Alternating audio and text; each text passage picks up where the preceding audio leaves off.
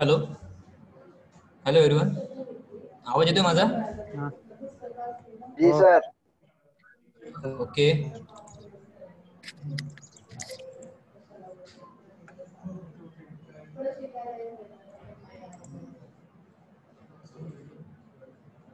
Okay तर आपण start करूया.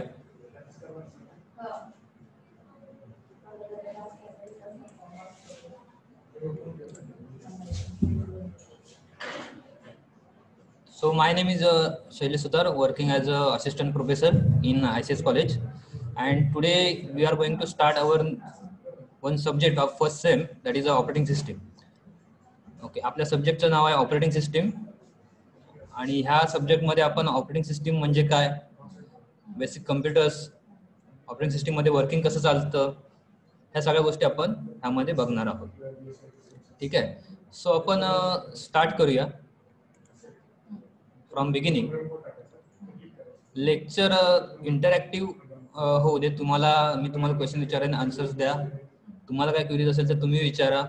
ओके सो अशा प्रकारे आपण हे लेक्चर स्टार्ट करूया. तर तुम्हाला स्क्रीन दिसते ना?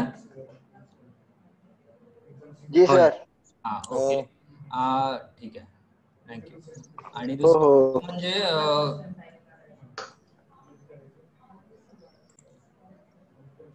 तर तुम्हाला स्क्रीन दिसते. स्क्रीन वरती काय कम्प्युटर आहे. बरोबर आहे. कम्प्युटर म्हणजे काय? कोणाला माहिती आहे? What is in by computer who is say what is in by computer कोण सांगेल? सांगितलं तरी चालेल की कम्प्युटर म्हणजे काय? हॅलो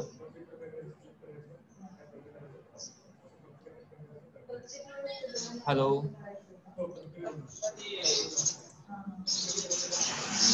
कम्प्युटर म्हणजे काय? हॅलो अनम्यूट करून सांगितलं तरी चालेल.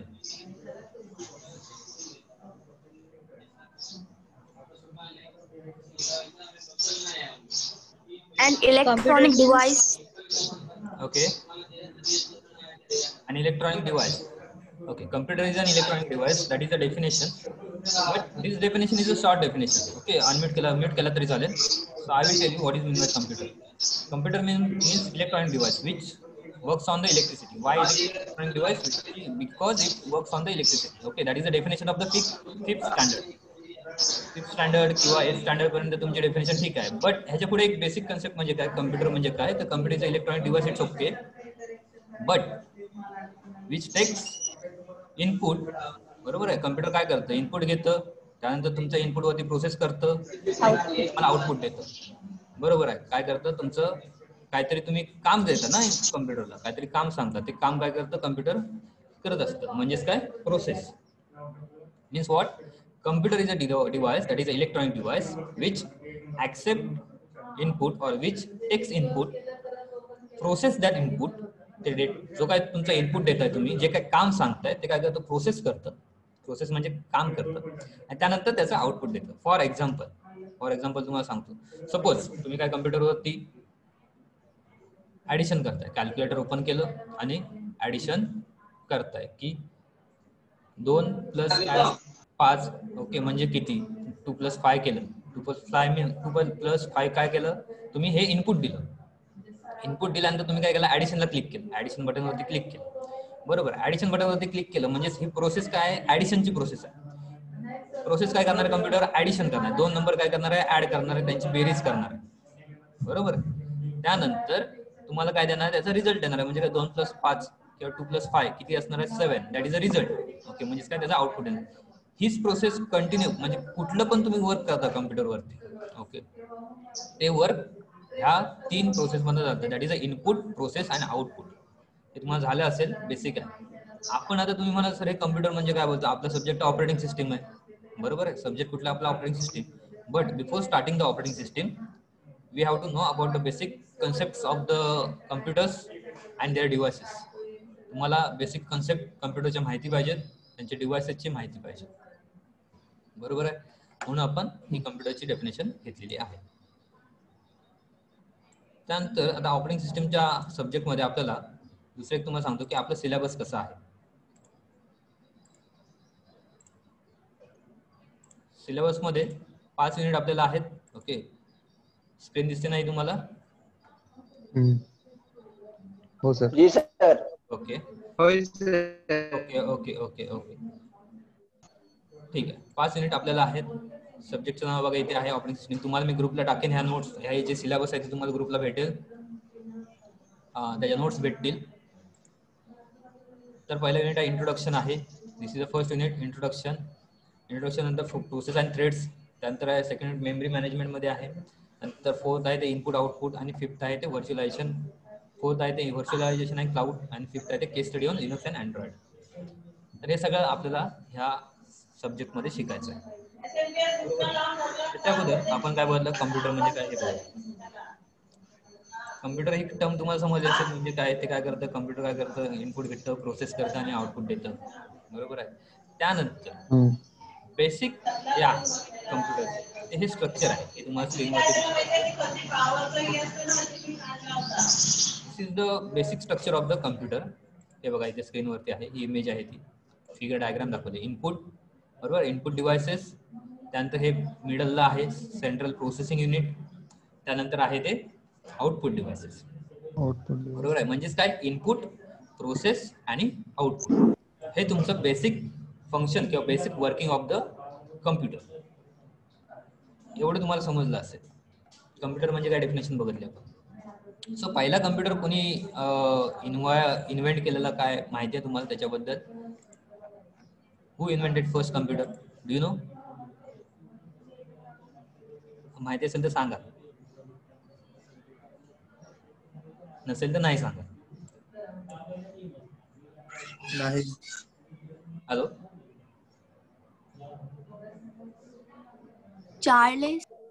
Yes yes Charles Babbage. हा कधी केलेला? नाईन काय नाईन्टीन एटीन कधी केलेला?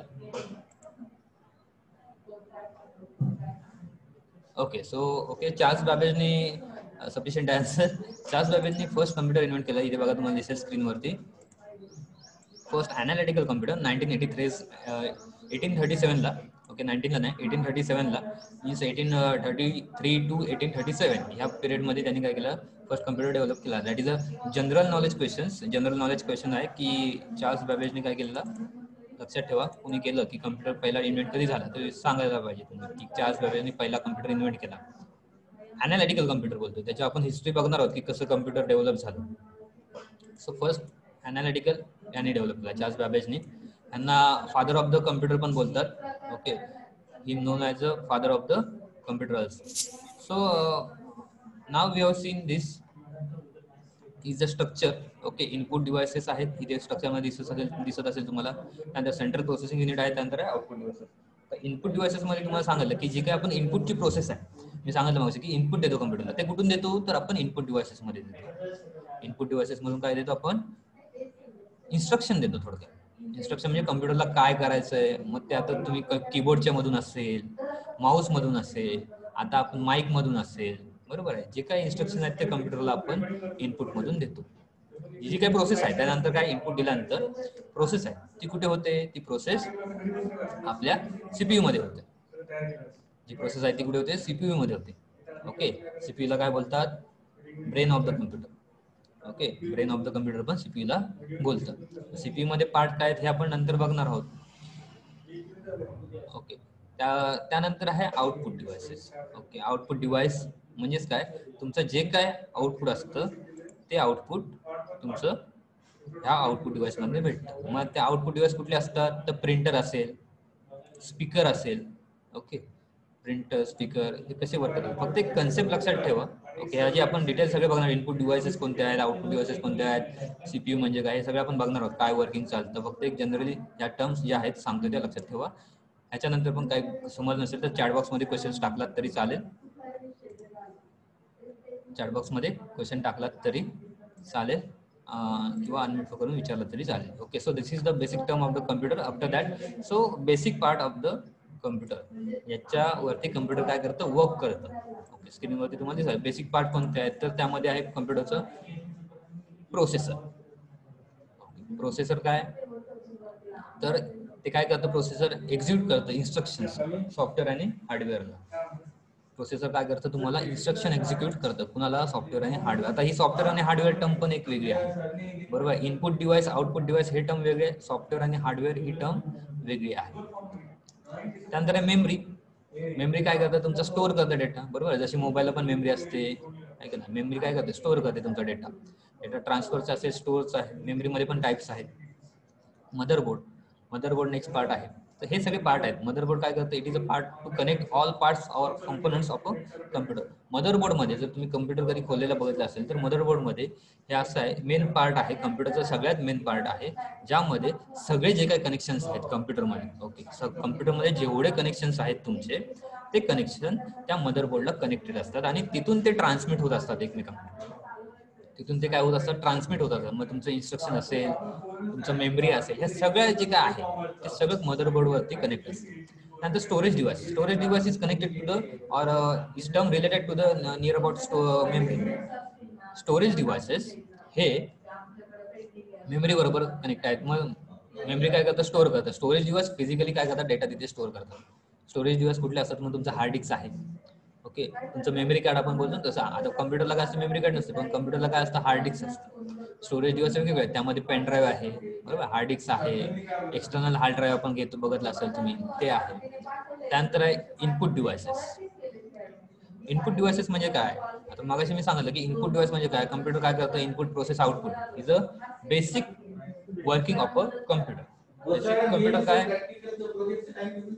तर कम्प्युटर इनपुट घेतं प्रोसेस करतं ते इनपुट आणि त्याच्यावरती आउटपुट तुम्हाला ते डिझायरेबल आउटपुट आहे. ते काय करतं? आउटपुट तुम्हाला देते. इनपुट डिव्हाइस कोणते आहेत? इनपुट डिव्हायसेस तुमचे काय करतात? तुम्हाला कम्प्युटरला it allowed to communicate with the computer ते काय करतात? तुम्हाला अलाव करतात कम्प्युटरला की तुमचं कम्युनिकेट करण्यासाठी. मग त्यामध्ये कीबोर्ड असेल बरोबर आहे? कीबोर्ड माऊस असेल माईक असेल बरोबर तर ह्या सगळ्या गोष्टी यामध्ये होत असतात. तुम्ही इनपुट देता. थोडक्यात काय करता? इनपुट देता. इन्स्ट्रक्शन देता. मग कीबोर्ड वापरून आपण इन्स्ट्रक्शन देतो कम्प्युटरला बरोबर? टायपिंग करतो. माऊस वापरून क्लिक वगैरे करतो. बरोबर आहे? हे सगळं काय करतो? इन्स्ट्रक्शन हे काय करतं? कम्प्युटरवरती वर्क करतं. मग हे सगळ्या गोष्टी आपण ज्या डिव्हाइस मधून करतो त्याला काय म्हणतात? इनपुट डिव्हायसेस असं बोलतात. त्यानंतर आहे आउटपुट डिव्हायसेस आउटपुट डिव्हायसेस कोणते आहे सो आउटपुट डिव्हायसेस यामधून आपल्याला रिझल्ट भेटतो. त्यामध्ये मॉनिटर आहे. बरोबर? मॉनिटरवरती तुम्हाला स्क्रीन दिसते. तुम्ही ऍडिशन केली पण ते ऍडिशन कुठेतरी दिसायला पाहिजे ना मग ती कुठे दिसते? स्क्रीनवरती दिसते. तुम्ही प्रिंट करू शकता. प्रिंटर इज आउटपुट डिव्हायसेस तुम्हाला रिझल्ट भेटते प्रिंट भेटते. बरोबर आहे? हे पण एक आउटपुट डिव्हायसेस आहे. So this is the working and this is the some important or basic components of the computer okay तर हे होतं त्यानंतर कम्प्युटरचे टाईप्स आहेत. त्याच्या अगोदर ही टर्म मी तुम्हाला क्लिअर करून टाकतो की कम्प्युटर इनपुट डिव्हाइस कुठले प्रोसेस सीपीयू मध्ये काय काय आहे. तर इनपुट डिव्हाइस सांगितलं तुम्हाला आउटपुट डिव्हाइस आता सांगितलं. त्यानंतर सीपीयू सीपीयू मध्ये काय कंट्रोल युनिट आहे. सीपीयू मध्ये पण तीन पार्ट असतात. तीन पार्ट असतात लक्षात ठेवा. सेंटरला तुम्हाला दिले सीपीयू मध्ये कुठले पार्ट असतात? तीन पार्ट असतात. ते कुठले? त्यामध्ये कंट्रोल युनिट आहे. ALU that is arithmetic logical unit आहे. त्यानंतर आहे मेमरी युनिट सीपीयू जेव्हा काम करतं तेव्हा सीपीयू मध्ये तीन युनिट काम करत असतात. मेनली कंट्रोल युनिट जे तुमचं कंट्रोलिंगचं काम कम्प्युटरमध्ये जे काय तुमचं इनपुट दिल्यानंतर ते प्रोसेस करायचे ते कुठे जायचं आहे त्याचं कम्युनिकेट कसं करायचं आहे कुठल्या डिव्हाइसला ते इन्स्ट्रक्शन द्यायचं आहे हे सगळं काम कंट्रोल युनिट करत असतं. अरिथमेटिक लॉजिकल युनिट डिसिजन घ्यायच्या ज्या काही गोष्टी आहेत ओके किंवा तुमचं आपण ॲडिशन्स बोलतोय किंवा logical unit okay decisions making आपण बोलतो कम्प्युटरमध्ये डिसिजन मेकिंग म्हणजे काय? आता तुम्ही क्लोज करताय. एखाद्या वेळी आता ही सपोज मी विंडो इथे क्लोज केली. बरोबर आहे पण इथे येतं काय? सेव्ह डोंट सेव्ह बरोबर आहे. हे काय याला लॉजिकल पार्ट आहे म्हणजे कम्प्युटरला कळतंय की तुम्ही सेव्ह केलेली नाही इथे. ही फाईल आहे ती तुम्ही सेव्ह केलेली नाही. त्याच्यामुळे ही फाईल पहिली काय करा? सेव्ह करा. हे लॉजिकल पार्ट झालं. कम्प्युटरला ऑटोमॅटिक कळतंय. ह्यासाठी काय कम्प्युटर काय तुम्हाला डायरेक्ट पोस्ट करून दिलं नाही. बरोबर? हे लॉजिकल पार्ट झालं. हे काय करतंय?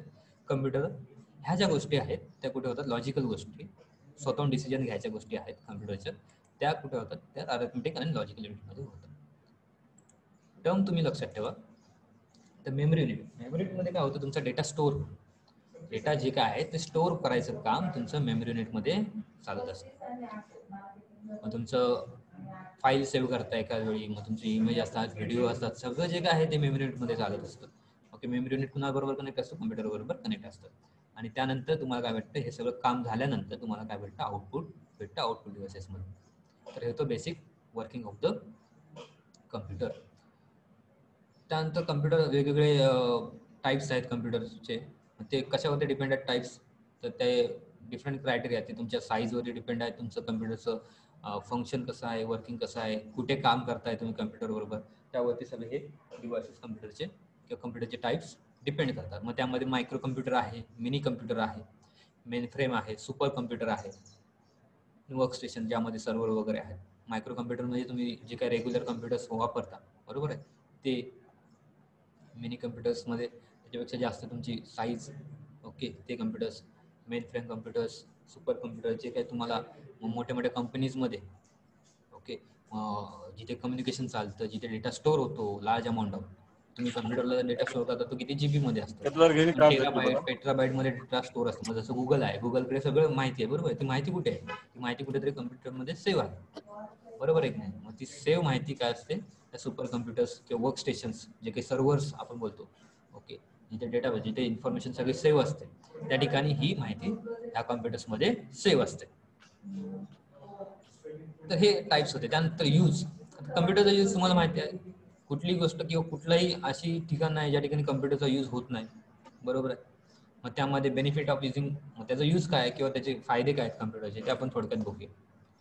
मग इन्क्रीज युअर प्रोडक्टिव्हिटी पहिलं यूज आहे किंवा त्याचा benefit benefits of the computer productivity increase म्हणजे काय? Computer increase your productivity for example after having basic understanding of word processor you can create edit store and print the document easily आता word प्रोसेसरचं example घेतलं असेल. Word of म्हणजे M S word तुम्ही computer basic माहिती तुम्हाला कम्प्युटरचं आहे. मी असं समजतो आणि तुम्हाला सांगतो. जर माहिती नसेल तर सांगा आपण फुल डीपमध्ये घेऊया. तुम्ही एम एस वर्ड वापरता. एम एस वर्ड वापरता मग त्यामध्ये तुम्ही टायपिंग करता. तर हे आपण ओपन केले ते काय एम एस वर्ड आहे. त्यामध्ये वर्ड टायपिंग केलेत मी नोट्स काढल्या बरोबर आहे? मग ते क्रिएट केली त्यामध्ये एडिट केले आणि ती काय मी ही डॉक्युमेंट पाहिजे तर मला प्रिंट करू शकतो तुम्हाला सेंड करू शकतो. बरोबर आहे? नोट्स पाठवू शकतो तुम्हाला. हे सगळं इझी झालं. लगेच कॉपी पेस्ट केलं किंवा मी टाईप केलं असेल एडिट केलं हे लगेच इझी झालं. हे जर मला लिहायचं असतं किंवा मला मॅन्युअली काढायचं असतं मी जर बुक घेतलं त्यानंतर मी पेन घेतलं नोटबुक घेतलं आणि ते मी काढायला बसलो. तर त्याला किती वेळ लागला असतं हे तुम्हाला माहिती आहे. बरोबर आहे? त्यासाठी खूप वेळ लागला असता आणि ते थोडं काम काय? क्रिटिकल आहे किंवा जास्त डिफिकल्ट बोलू शकतो टास्क आहे. त्यापेक्षा सोपा टास्क आहे ह्यामध्ये तुम्ही वर्डमध्ये करू शकता. तुम्ही माहिती कुठे पण देऊ शकता प्रिंट करू शकता. हे बेनिफिट आहे. त्यानंतर आहे connect to the computer internet इंटरनेटचं कनेक्ट काय आहे? So it connect you to the internet so internet तुम्ही कनेक्ट करू शकता. हाय यूज आहे. कम्प्युटर सर तुम्ही बोला. मोबाईल पण आम्ही यूज करतो. बरोबर आहे. Mobile is also one of the part of the this I C T devices I C T device म्हणजे काय? तुम्हाला माहिती आहे आय सी टी म्हणजे काय? Information communication technology I C T tools I C T टूल्समध्ये सगळे जे काही टर्म्स आहेत मग तुमचं कम्प्युटर आहे नेटवर्क डिव्हायसेस आहे मोबाईल आहे प्रिंटर आहे सगळे जे काय आहे ते सगळं I C T tools under I C T tools येतच म्हणजेच काय तुम्हाला कम्प्युटरचा एक बेनिफिट दुसरा आहे की तुम्ही तिथे इंटरनेट कनेक्ट करू शकता. इंटरनेट कनेक्ट केल्यावर तुम्हाला सगळं जग काय तुमच्या कम्प्युटरवर ते सगळं जग तुमच्या हातात आहे. तुम्हाला पाहिजे ते इन्फॉर्मेशन तुम्ही बघू शकता. पाहिजे ते नोट्स काढू शकता एज्युकेशनसाठी वापरू शकता तुम्ही गेम्स सोशल मीडियासाठी वापरू शकता. बरंच काय त्या इंटरनेट थ्रू तुम्ही करू शकता. हा एक बेनिफिट आहे. सेकंड बेनिफिट त्यानंतर थर्ड बेनिफिट आहे तो स्टोरेज तुमचे आता मेस मोस्टली तुमचं काय असतं स्टोरेजचं फोटोज व्हिडिओज ओके कम्प्युटरमध्ये तुम्ही स्टोअर केला. तुमचे लहानपणीचे असतील फोटो ते पण तुम्ही स्टोअर करू शकता. तुमच्या मेमरीज आपण बोलू थोडक्यात की मेमरीज तुम्ही स्टोअर करू शकता. हा एक बेनिफिट आहे. लार्ज अमाऊंट ऑफ डेटा मग तुम्हाला तो डेटा तुम्ही डेटा म्हणजे काय माहिती आहे ना? डेटा म्हणजे काय? इन्फॉर्मेशन जी इन्फॉर्मेशन तुमची कम्प्युटरमध्ये असते ती तुम्ही इन्फॉर्मेशन ती काय करू शकता? स्टोअर करू शकता. पाहिजे तेव्हा ती इन्फॉर्मेशन तुम्ही ऍक्सेस करू शकता घेऊ शकता यूज करू शकता तिचा. बरोबर? मग त्यामध्ये डेटामध्ये कुठलं असतं? तुमचं पिक्चर असतील सॉंग्स असतील मूवीज असतील पाहिजे तेव्हा आपण बघतो. एक वर्ष दहा वर्ष दोन वर्ष कधी पाहिजे तेव्हा आपण ते बघू शकतो एकदा स्टोअर केलं तर. जोपर्यंत तुम्ही डिलीट करत नाही किंवा कम्प्युटरला प्रॉब्लेम येत नाही तोपर्यंत ते डिलीट होत नाही. बरोबर आहे ना? हा एक बेनिफिट आहे. स्टोरेजचं त्यानंतर फोर्थ आहे तर organise and organise data information data आणि इन्फॉर्मेशन ऑर्गनाइज करू शकता. म्हणजेच काय?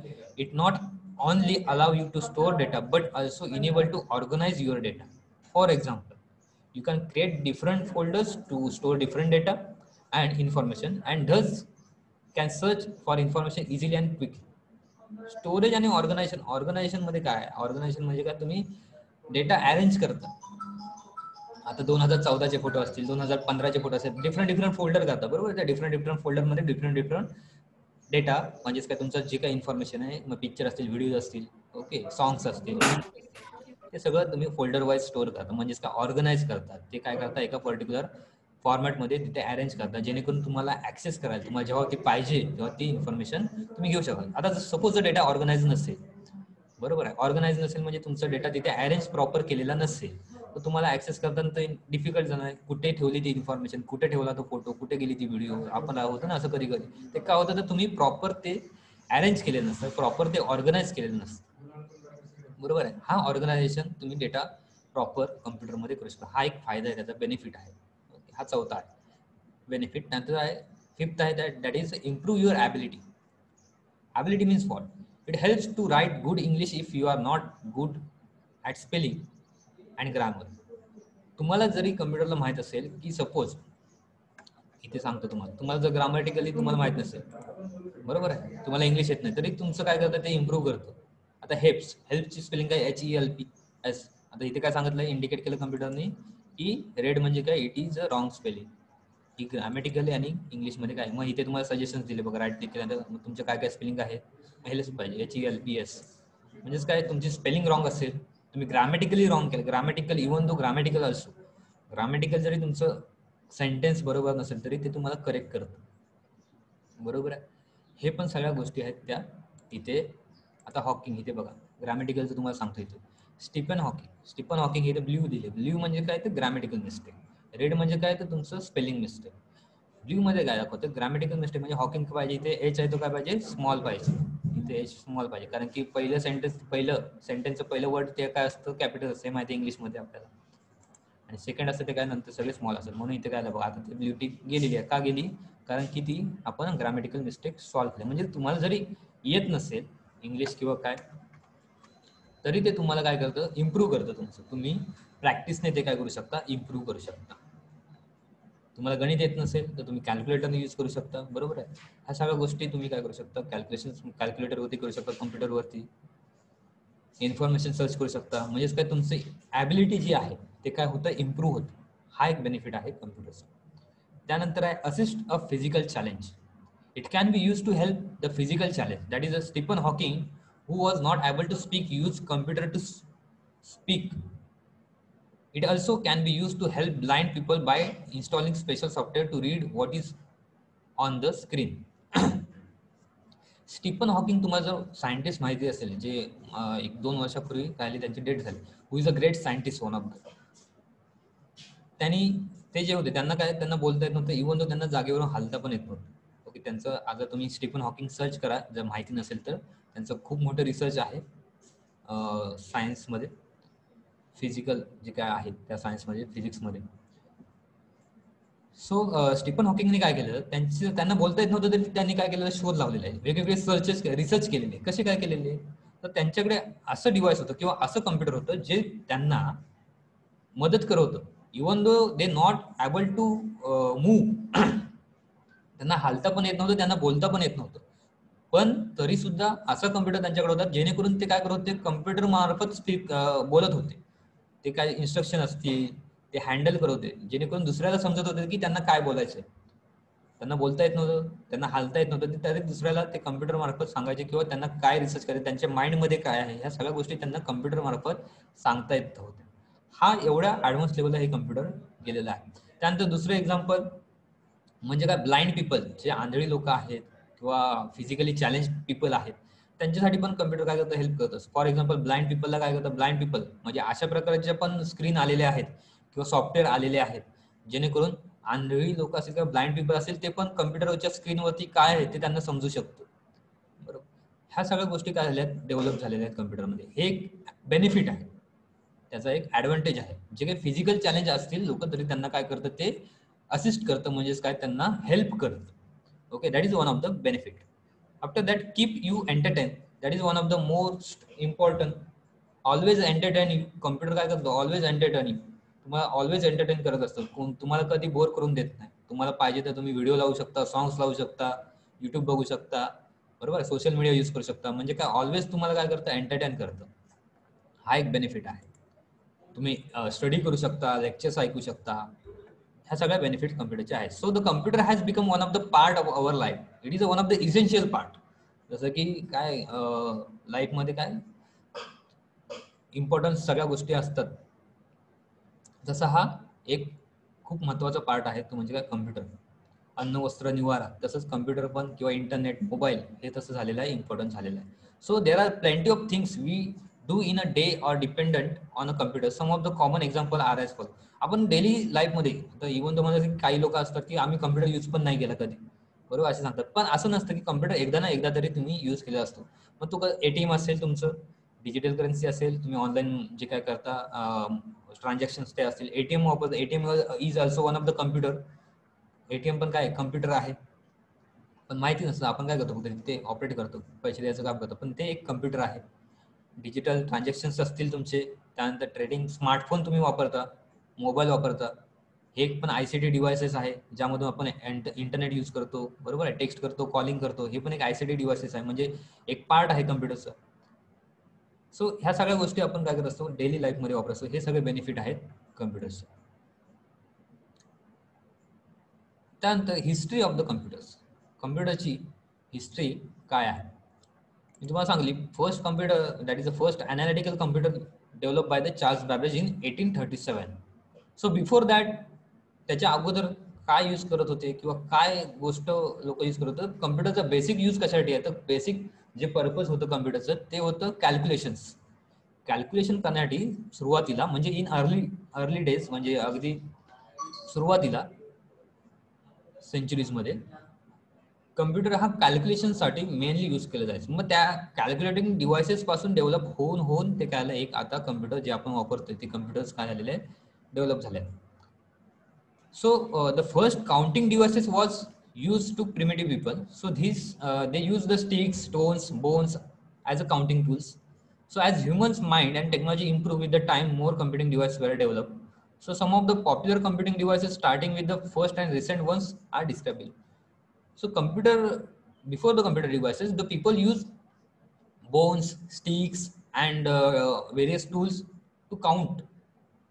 जे काही काउंटिंगसाठी ते वेगवेगळे डिव्हायसेस स्टोन्स दगड वगैरे ह्या सगळ्या गोष्टी ते काउंटिंगसाठी वापरत होते. जसं जसं माणसाचं माइंड डेव्हलप झालं त्याचा टेक्नॉलॉजी इम्प्रूव्ह झाली त्या प्रकारे कम्प्युटरमध्ये वेगवेगळे चेंजेस हे झाले. मग पहिलं जे काय डिव्हायसेस होतं हिस्ट्रीमध्ये ते होतं ॲबॅकस ॲबॅकस हे डिव्हाइस तुम्ही पण लहानपणी कधीतरी हे ॲबॅकस असं इमेज तुम्हाला दिसते स्क्रीनवरती ॲबॅकस तुम्ही वापरलं असेल.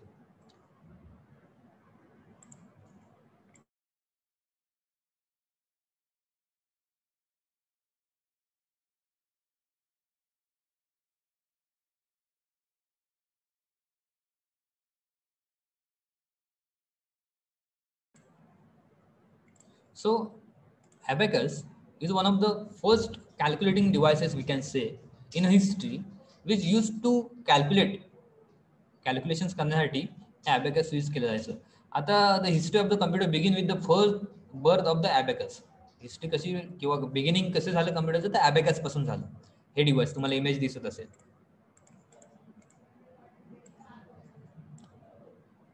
हे ॲबॅकस आहे ज्यामध्ये स्टिक्स होत्या बरोबर आहे हे सगळे असे मनी होते. सो हे कधी डेव्हलप झालं चार हजार वर्षापूर्वी चायनीज जे काही चीनची लोक होती त्यांनी हे ॲबॅकस काय केलं? इन्व्हेंट केलेलं आहे. शोध लावलेला आहे त्याचा. So it was a wooden rack which has a metal rods and beds beads mounted on them ह्याला काय होतं? वुडन रॅक होता एक.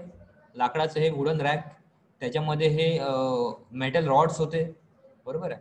लोखंडी ह्या ज्या काही सळ्या आहेत त्या. आणि त्याच्यामध्ये बीड्स होते. वेगवेगळे मनी बरोबर? वेगवेगळे मनी त्यामध्ये त्यांनी लावलेले होते. जेणेकरून हे beads were move abacus operator according to the same rules to perform arithmetic operation or arithmetic calculation so abacus is still use in some country like China Russia आणि जपान हे अजून पण यूज केला होता ऍबॅकस कॅल्क्युलेशनसाठी. तुम्ही लहानपणी कधीतरी खेळताना हे बघितलं असेल डिव्हाइस जेणेकरून तुम्ही ते मनी मूव करून तुम्ही कॅल्क्युलेशन त्यामध्ये करू शकता.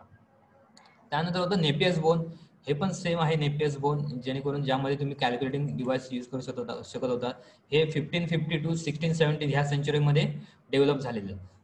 नेपियर बोन्समध्ये सो हे जे टूल्स होतं हे नेपियस फर्स्ट मशीन ज्यामध्ये डेसिमल पॉईंटचा यूज झाला हे नेपियस बोन होतं.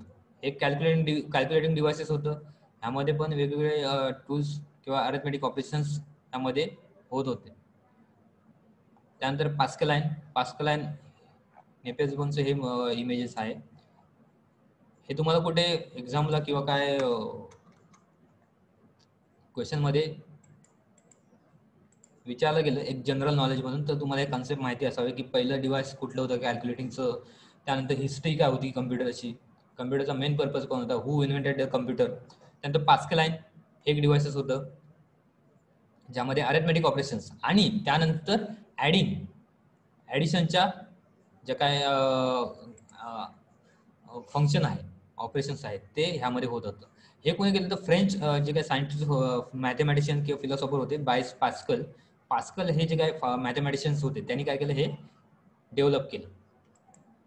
त्यानंतर आहे डिफरंट इंजिन डिफरन्शियल इंजिन आता हे जे डिफरन्शियल इंजिन आहे हे पहिलं इंजिन होतं ज्यामध्ये कॅल्क्युलेटिंग डिव्हायसेस तुमचे होत होते जे की फास्ट होत होत होते जे चार्ल्स बॅबेजने काय केलेलं इन्व्हेंट केलेलं आहे. इथे तुम्हाला मशीन दिसत असेल ते डिफरन्शियल इंजिन आहे. Charles Babbage who is known as the father of the computer or modern modern computer ज्याने मेकॅनिकल कम्प्युटर एक डेव्हलप केला जेणेकरून त्यामध्ये तुम्ही कॅल्क्युलेशन्स हे करत होतात. त्याच्याबरोबर बरोबर ते कॅल्क्युलेशन तुम्ही थोडे स्पीडनी आणि त्यामध्ये जास्त करून जे टेबल्स वगैरे आहेत बरोबर आहे? त्या टेबल्स वगैरे टेबल्स म्हणजे काय? आपण पाडे वगैरे बोलतो. ते त्या सगळ्या गोष्टी ह्यामध्ये कॅल्क्युलेशन्स होत होते. लॉगरिदम टेबल्स आहेत त्यानंतर अनालिटिक अनालिटिकल इंजिन हे अनालिटिकल इंजिन म्हणजे ज्याला म्हणतो आपण फर्स्ट कम्प्युटर ओके ते अनालिटिकल इंजिन चार्ल्स बॅबेजनी एटीन थर्टीला काय केलं? डेव्हलप केलं. हे दोन. हे पहिले डिफरन्शियल इंजिन काढलं त्यानंतर अनालिटिकल इंजिन काढलं ज्यामध्ये तुम्ही काय करतात ॲडिशन सबट्रॅक्शन हे सगळे ऑपरेशन्स करू शकत होतात. पण त्यामध्ये एक पंच कार्ड म्हणून इनपुट डिव्हाइस त्यांनी वापरला आहे. पंच कार्ड पंचिंग मशीन जसं की कंडक्टर माहिती ते पंच करायचे आणि होल पाडायचे पंचिंग मशीन असतं. तसं ते पंच कार्ड जेणेकरून त्यामध्ये इनपुट देत होतं आणि त्यानंतर ते त्या ठिकाणी स्टोअर होत होतं. आणि ते जे काही पंच कार्ड आहेत त्यामधून तुम्हाला ते आउटपुट भेटत होतं. कम्प्युटर त्या पंच कार्डमधून ती एक लँग्वेज किंवा जसं एक अंडरस्टँडेबल होती त्यांच्या त्या पंच कार्डमधून त्यांना ती माहिती समजायची. त्यानुसार ते रिझल्ट त्यांना भेटायचे. त्यानंतर मार्क वन तर मार्क वन हा एक कम्प्युटर आहे किंवा जे काय आहे सो हा कम्प्युटर जो आय बी एम कंपनीने डेव्हलप केला that is known as the first programmable computer हे सगळे होते ते अनालिटिकल बरोबर आहे? डिफरन्शियल म्हणजे जे फक्त कॅल्क्युलेशनसाठी वगैरे वापरले जात होते. थोडक्यात काय इनपुट आउटपुटचे त्यामध्ये प्रोसेस होत होत्या. पण त्याच्या पुढे जाऊन एक हाय लेवलला जे प्रॉपर कम्प्युटर वर्किंग जे आपण बोलतो ज्यामध्ये स्टोअर करायचं आहे परफॉर्मन्स आहेत ते ह्या ठिकाणी इमेज दिसत असेल ते I B M company that is a international business machine ही एक कंपनी आहे इथे I B M company. Search करा इंटरनेटवरती आज की आय बी एम कंपनी आणि त्याची माहिती. त्यांनी फर्स्ट कम्प्युटर नाईन्टीन फोर्टी फोरला काय केला? डेव्हलप केला ज्याचं नाव होतं Mark one I B M आणि हार्वर्ड यांनी काय केलं? हा डेव्हलप केला ह्याला फर्स्ट कम्प्युटर किंवा first digital computer first programmable digital computer असं पण बोललं जातं. सो हे होते तुमचं हिस्ट्री ऑफ द कम्प्युटर त्याच्या अगोदर कम्प्युटरची टर्म आपण बघितली. कम्प्युटर कसं वर्क करतं हे बघितलं. त्यानंतर बघायचं आपल्याला ते आहे जनरेशन्स ऑफ कम्प्युटर ओके हे सगळं एक जनरल टर्म्स म्हणून लक्षात ठेवा. तुम्हाला समजेल. नाही समजेल तर आपल्याला यूट्यूबला आपण अपलोड करणार आहोत. किंवा क्विज किंवा काय क्वेश्चन असेल नसेल समजलं तर मेसेज केला तरी चालेल. व्हॉट्सअपला ग्रुपला नंबर आहे. सो नेक्स्ट पार्ट आहे तो आहे generations of computer generations of कम्प्युटरमध्ये आता वेगवेगळे जनरेशन्स कम्प्युटरमध्ये आहेत. मग त्यामध्ये first generation to the fifth generation आता जे आपण यूज करतो ते fifth generation first second and third and third fourth and fifth पाच प्रकारचे जनरेशन्स कम्प्युटरमध्ये आहेत. जे की फर्स्ट कम्प्युटर डेव्हलप झाला जो मार्क कोण होता? तो फर्स्ट जनरेशन त्यानंतर जसे जसं जनरेशन म्हणजे काय? जनरेशन म्हणजे एक टर्म असते किंवा एक इयर आपण बरोबर बोलू शकतो किंवा एक पिरियड पर्टिक्युलर पिरियड ज्यामध्ये चेंजेस होत असतात. बरोबर आहे. ते म्हणजेच काय? जनरेशन सो हे वेगवेगळे जनरेशन्स आहेत कम्प्युटरचे ते जनरेशन्स आणि आपले इनपुट आउटपुट जे काही कम्प्युटरचे कंपोनंट्स आहेत इनपुट डिव्हाइस का आउटपुट डिव्हाइस त्यानंतर मेमरी युनिट आहेत त्याची माहिती आपण नेक्स्ट लेक्चरला बघूया. आज आपण कम्प्युटरचे इन्फॉर्मेशन बघितले डेफिनेशन बघितले बेसिक काय आहे ते बघितलं.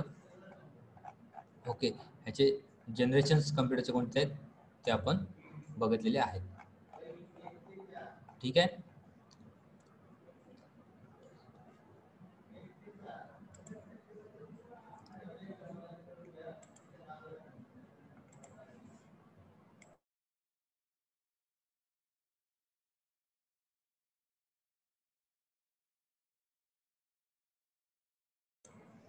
जनरेशन टर्म बघूया आपण आपल्याकडे आहेत थोडा वेळ. Generation of computer generation term तुम्हाला सांगले. जनरेशन फ़र्स्ट जनरेशन कम्प्युटर कुठले होते? तर पहिल्यांदा जे कम्प्युटर डेव्हलप झाले, ते कम्प्युटर ह्यूज होते. साईजने त्यांच्यात साईज खूप होती. त्यामध्ये एक्सपेन्सिव्ह होते. खर्चिक होते. Okay nineteen forty six to nineteen fifty nine त्यामध्ये हे कम्प्युटर्स डेव्हलप झालेले. ह्यामध्ये मेनली जी व्हॅक्युम ट्यूब आहे ती व्हॅक्युम ट्यूब एक component basic use component use केलेला ज्यामध्ये सीपीयू आणि मेमरी जसं आता वर्क करतंय तसं ते त्यावेळी वर्क करत होते. So this computers were mainly depend on batch operating system and punch card punch card आणि बॅच ऑपरेटिंग सिस्टीमवरती वर्क करायचं. सो मॅग्नेटिक टेप त्यानंतर पेपर टेप ह्या आउटपुट डिवाइस किंवा इनपुट डिवाइससाठी ते वापरलं जायचं. मॅग्नेटिक टेप किंवा पेपर टेप तुम्हाला माहिती असेल की टेप पहिले यायचं त्या टेप्स ओके ते टेप्स ह्या ठिकाणी ते यूज केलं जायचं. सो हे कम्प्युटर्स चेंजेस काय झाले की ह्यामध्ये एक्सपेन्सिव्ह होते. एक हजार किंवा जास्त हजारो जेव्हा व्हॅक्युम ट्यूब्स एकत्र येतील तेव्हा ते त्यावेळी ते एक कम्प्युटर बनवते. जे म्हणजे त्याची साईज जवळजवळ एक रूम आपण बोलू शकतो. एक आपली रूम असते. तेवढा एका रूम एवढा तो कम्प्युटर होत होता. त्या कम्प्युटरमध्ये जरी प्रॉब्लेम आला एखादा एवढ्या रूममध्ये सगळं एखादी व्हॅक्युम ट्यूब जरी ती बिघडली हजार असतील त्यातली तर तरी तो पूर्ण कम्प्युटर काय करायचा? बंद पडायचा. ते वर्किंग होत नव्हतं. सो हे सगळे काय होतं? त्यामध्ये ड्रॉबॅक्स होते. पण त्यावेळी हा कम्प्युटर काय होता? एक खूप चांगल्या लेवलला ते काय होतं इन्व्हेन्शन होतं. फर्स्ट कम्प्युटर बोलू शकतो. First generation of the computer so त्यामध्ये इनॅक जो इनॅक आहे that is a electronic numerical integrator and computer जो फर्स्ट कम्प्युटर आपण बोलतो एम वन मार्क वन तो कुठला होता? इनॅक होता. हे लक्षात ठेवा जनरली. सो हे कम्प्युटर काय केले? डेव्हलप त्यानंतर I B एमनी computer seven zero one six five zero हे कम्प्युटर्स काय केले? त्यामध्ये जनरेशन्समध्ये काढलेले. सो हे फर्स्ट जनरेशन फर्स्ट जनरेशनमध्ये लक्षात ठेवताना काय करायचं की ह्यूज होते एक्सपेन्सिव्ह होते आणि व्हॅक्युम ट्यूब ही यामध्ये यूज केली जायची. त्यानंतर होते सेकंड जनरेशन फर्स्ट जनरेशन झाल्यानंतर सेकंड जनरेशनमध्ये काय? तर second generation he nineteen fifty nine to nineteen sixty फायमध्ये आली. So it is a known as a transistor G vacuum ट्यूबची जागा होती. ट्रान्झिस्टर ह्यामध्ये यूज केली जायचे. व्हॅक्युम ट्यूबची जी जागा होती ती ट्रान्झिस्टरने घेतली. व्हॅक्युम ट्यूबच्या व्हॅक्युम ट्यूबच्या ऐवजी ट्रान्झिस्टर ह्या ठिकाणी रिप्लेस झाले. ट्रान्झिस्टर हे एक it is one of the cheap and compact consume less power जे व्हॅक्युम ट्यूब वर्क करायचं जे की आता सीपीयू किंवा जे आपलं प्रोसेसर वर्क करतं तेच काम काय करायचं त्या ट्रान्झिस्टर वगैरे त्यावेळी करायचे. सो ते व्हॅक्युम ट्यूबच्या मानाने काय होते? लहान होते. त्याची जी काय इलेक्ट्रिसिटी होती त्यामध्ये काय लागायची? कमी लागायची. ह्या सगळ्या गोष्टी ह्यामध्ये होत होत्या त्या फर्स्ट जनरेशन कम्प्युटर होते त्याच्यापेक्षा हे जे कम्प्युटर सेकंड जनरेशनचे ते फास्ट होते. ओके ह्या सगळ्या गोष्टी ह्यामध्ये होत्या. त्याच्यामुळे हे सेकंड जनरेशन ज्यामध्ये काय करायचं एक लक्षात दुसरी गोष्ट म्हणजे सेकंड जनरेशनमध्ये ट्रान्झिस्टर आणि काय केलं जायचं? ट्रान्झिस्टर यूज केलं जायचं आणि दुसरी गोष्ट म्हणजे nineteen fifty nine to nineteen sixty फायमध्ये हे डेव्हलप झालेले आहे.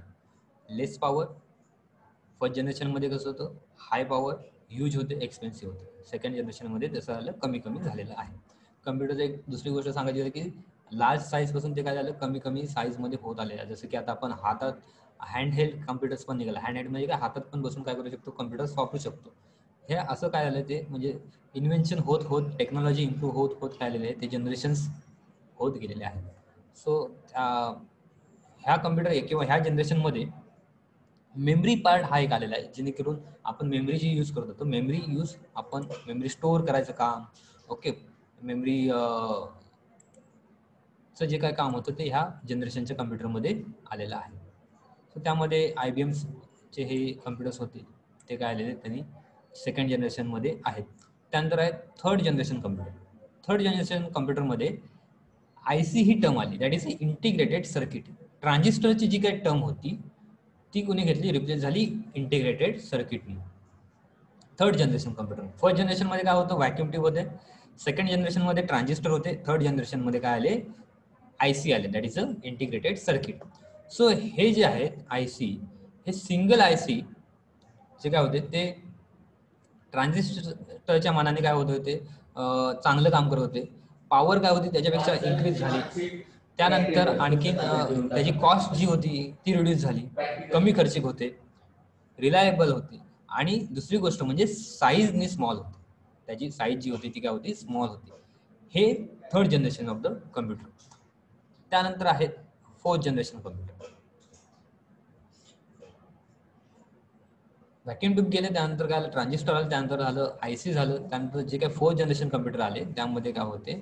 सो फोर्थ जनरेशन कम्प्युटर हे nineteen seventy one to nineteen eighty हे कम्प्युटरमध्ये आय सीस होते चिप आल्या वेगवेगळ्या. ओके सर्किट्स हे यामध्ये यूज केलं जातं so this chip use to generation computer which compact powerful and fast and affordable compact होते लहान होते साईजनी स्वस्त होते आणि दुसरी गोष्ट म्हणजे पॉवरफुल होते आणि फास्ट होते. जे की कम्प्युटर स्लो बोलतो ना आपण स्लो होता त्यानंतर काय फास्ट झाला. हे डिपेंड कुठं करतं? तुमच्या प्रोसेसर जे काय चिप असते आय सी असतात किंवा आता आपलं काय असतं प्रोसेसर असतं. पहिले चिप होतं आय सी होते ट्रान्झिस्टर होते. मग ते काय आलं? जेवढं कम्प्युटर फास्ट तेवढं काय होतं? ते वर्किंग करायला आपल्याला सोपं पडतं किंवा इझी पडतं किंवा चांगलं वाटतं. सो फोर्थ जनरेशनमध्ये तो एक चेंज झाला की कॉम्पॅक्ट झालं डिव्हाइस लहान झालं अफोर्डेबल झालं स्वस्त झाले आणि दुसरी गोष्ट म्हणजे प्रोसेसिंग होती ती त्याची वाढली. ओके ह्यामध्ये ह्या जनरेशन कम्प्युटरमध्येच ऑपरेटिंग सिस्टीमचं इन्व्हेन्शन झालं. ऑपरेटिंग सिस्टीम जे आपण बोलतो. मग त्याच्या अगोदर होतं का? त्याच्या अगोदर नव्हतं. ऑपरेटिंग सिस्टीम वगैरे अशी टर्म नव्हती. त्याच्यामध्ये अगोदरच्या कम्प्युटरमध्ये फक्त इन्स्ट्रक्शन देणं आणि आउटपुट घेणं. काम जे काय म्हणजे मेनली काय? तुमचं कॅल्क्युलेशनसाठीच मग ते कॅल्क्युलेशन फक्त फास्ट किती होत आहे? मग त्यानंतर तुमचे हाय लेवलचे कॅल्क्युलेशन्स असतील. ओके ह्या सगळ्या गोष्टी होत होत्या. म्हणजे ॲडिशन सबट्रॅक्शन सोडून ओके त्यापेक्षा जास्त जे काय कॅल्क्युलेशन होते डिफिकल्ट कॅल्क्युलेशन ते होत होते. पण त्याच्यापेक्षा फोर्थ जनरेशन कम्प्युटरमध्ये ऑपरेटिंग सिस्टीम ही टर्म आली जी एकोणीसशे एकाहत्तर आणि एकोणीसशे ऐंशी ह्या मध्ये आली ह्या काळात आली. मग ऑपरेटिंग सिस्टीममुळे काय झालं? कम्प्युटर तुमचे एक त्यामध्ये प्रॉपर वर्किंग दुसरी गोष्ट म्हणजे एक टाईम शेअरिंग डिस्ट्रीब्युटिंग ह्या सगळ्या जे काही टर्म्स आहेत ह्या कम्प्युटरमध्ये आलेले आहेत. फक्त लक्षात ठेवा की ऑपरेटिंग सिस्टीम ही इन्व्हेंट कधी झाली तर फोर्थ जनरेशनच्या इरामध्ये हे ऑपरेटिंग सिस्टीम इन्व्हेंट झालेली आहे त्यानंतर आहे fifth generation computer fifth generation computer हे कम्प्युटर जे आता आपण यूज करतो फिफ्थ जनरेशन कम्प्युटर जे नाईन्टीन एटी त्यानंतर जेवढे डेव्हलप झाले ज्यामध्ये वेगवेगळ्या प्रोग्रॅमिंग लँग्वेजेस आल्या ग्राफिकल युजर इंटरफेस आलं ऑपरेटिंग सिस्टीम आल्या इंटरनेट आलं ह्या सगळ्या गोष्टी त्यामध्ये आला. ह्या कम्प्युटर्स फिफ्थ जनरेशन्समध्ये आपण बोलू शकतो. ज्यामध्ये तुमचं लॅपटॉप आहे डेस्कटॉप आहे तुम्ही टॅब वापरता बरोबर आहे? ए आय आहे आर्टिफिशियल इंटेलिजन्स ते वेगळं पार्ट पण हे जे आपण वापरतो लॅपटॉप वगैरे हे फिफ्थ जनरेशन कम्प्युटरमध्ये येतात. फोर्थ जनरेशन कम्प्युटरमध्ये फक्त एक डिव्हायसेस होते. फिफ्थ जनरेशन दुसरं एक गोष्ट म्हणजे फिफ्थ जनरेशनमध्ये काय आलं? तर प्रोग्रामिंग लँग्वेजेस आणि graphical user interface programming languages म्हणजे तुमचं सी सी प्लस प्लस वगैरे ज्या काय प्रोग्रामिंग लँग्वेज आहेत जेणेकरून तुम्ही ॲप्लिकेशन डेव्हलप करता. सॉफ्टवेअर्स आपण बोलतो जे यूज करून डेव्हलप करतो. सॉफ्टवेअर्स आपण वापरतो. मग काय त्यामध्ये तुमचे गेम्स असतील ब्राउझर्स असतील क्रोम ओपेरा मिनी वगैरे आहेत ना हे सगळे युसी ब्राउझर हे सगळे ब्राउझर्स ते आहेत गेम्स आहेत. त्यानंतर मीडिया प्लेअर ज्यामध्ये तुम्ही गाणी ऐकता व्हिडिओ बघता हे सगळे आहेत. त्यानंतर आणखीन तुमचं आता जेवढे ॲप्लिकेशन्स आपण यूज करतो ते सगळे काय सॉफ्टवेअर्स आहे सॉफ्टवेअर टर्म आपण बघणार आहोत. तर त्या सगळ्या गोष्टी ह्या फिफ्थ जनरेशन कम्प्युटरमध्ये इन्व्हेंट झालेल्या आहेत. सो हे पाच जनरेशन होते. फर्स्ट सेकंड थर्ड फिफ्थ फा फर्स्टमध्ये तुम्ही लक्षात ठेवा की व्हॅक्युम ट्यूब आणि ते सगळं सांगितल्यानंतर सेकंडमध्ये ट्रान्झिस्टर फो थर्डमध्ये आय सी फोर्थमध्ये चिप आली फिफ्थमध्ये जे आता आपण यूज करतोय ते प्रोसेसर्स वगैरे जे आहेत त्या गोष्टी ह्या फिफ्थ जनरेशनमध्ये आहेत. So these are the generations of the computer. त्यानंतर आहे नेक्स्ट पार्ट जो आहे तो आहे कम्प्युटर कंपोनंट्स कम्प्युटर कंपोनंट्स कम्प्युटरमध्ये कुठल्या कुठल्या महत्त्वाच्या गोष्टी आहेत कुठले कुठले महत्त्वाचे कंपोनंट्स आहेत ते आपण या लेक्चरमध्ये बघणार आहोत. त्यामध्ये नेक्स्ट लेक्चरमध्ये बघणार त्यामध्ये इनपुट डिव्हाइस कोणते आहेत सी पी यूमध्ये कुठले डिव्हाइस असतात आउटपुट डिव्हाइस कोणते आहेत ते म्हणजे काय? मेमरी मेमरीचे टाईप्स ह्या गोष्टी काय आहेत ते ते आपण नेक्स्ट लेक्चरला बघणार आहोत. पण हे लेक्चर एंड करायच्या अगोदर तुम्ही आज घरी बसून कम्प्युटरची हिस्ट्री कम्प्युटरबद्दलची माहिती कम्प्युटरमध्ये सॉफ्टवेअर्स म्हणजे काय वेगवेगळ्या इन्व्हेन्शन्स नवीन टेक्नॉलॉजीज काय आहे जुन्या टेक्नॉलॉजी काय होत्या ह्या सगळ्या गोष्टी तुम्ही सर्च करा. याचं एक हॅबिट लावा की नवीन लेटेस्ट अपडेट काय असतं टेक्नॉलॉजीमध्ये एक हॅबिट लावा की नवीन जगात काय काय नवीन येत आहे बरोबर आहे? की सध्या सगळं ऑनलाईन झालेलं आहे. त्या ऑनलाईनमध्ये काय काय नवीन इन्व्हेन्शन होत आहेत? ए आय आले रोबोट्स आले ए आय आले त्याच्या अगोदर नव्हतं. मग कम्प्युटरची टर्म कॅल्क्युलेशनपासून सुरुवात झाली ती आता रोबोटिक्स पर्यंत आली. म्हणजे माणूस दुसरा माणूस निर्माण करतोय. बरोबर आहे? हे आपण बोलू शकतो. म्हणजे एवढं इन्व्हेन्शन झालं हे इन्व्हेन्शन कसं झालं? ह्या सगळ्या गोष्टी तुम्ही सर्च करा. आपण ह्या बेसिक गोष्टी बघतोच आहे. पण त्या सर्च करा आणि अपडेट राहा. नवीन टेक्नॉलॉजीबद्दल अपडेटेड राहा. बाकी ह्या लेक्चरमध्ये आपण एवढं होतं. आपण अजूनपर्यंत ऑपरेटिंग सिस्टीम या सब्जेक्टला आपण सुरुवात केली आपण बेसिक इंट्रोडक्शन बघतोय. आपण ऑपरेटिंग सिस्टीम टर्म पण अजूनपर्यंत बघितली नाहीये. ते आपण हे जे बेसिक फंडामेंटल्स जे आपण बोलू शकतो फंडामेंटल्स ऑफ कम्प्युटर ते संपल्यानंतर आपण इंट्रोडक्शनला सुरुवात करू. त्यानंतर ऑपरेटिंग सिस्टीम या सब्जेक्टला आपण सुरुवात करणार आहोत. त्याच्या अगोदर तुम्हाला जेवढं बेसिक तुम्हाला जेवढं नॉलेज कम्प्युटर्स आणि त्याच्या जे काही डिव्हायसेस आहेत आयसीडी नुसतं कम्प्युटर नाही आयसीडी टूल्स बोलतो मी. आयसीडी टर्म लक्षात ठेवा. आयसीडी ह्या टूल्स जेवढे काय आहेत तेवढं सगळे इन्फॉर्मेशन सर्च करा जेणेकरून आपलं इंटरॅक्ट होताना काय होईल? सोपं जाईल. ओके ठीक आहे. थँक्यू फॉर कनेक्टिंग आपण इथे आपण थांबूया. नेक्स्ट लेक्चरला आपण पुढचं जे काय चॅप्टर आहे तो सुरुवात करूया. Thank you okay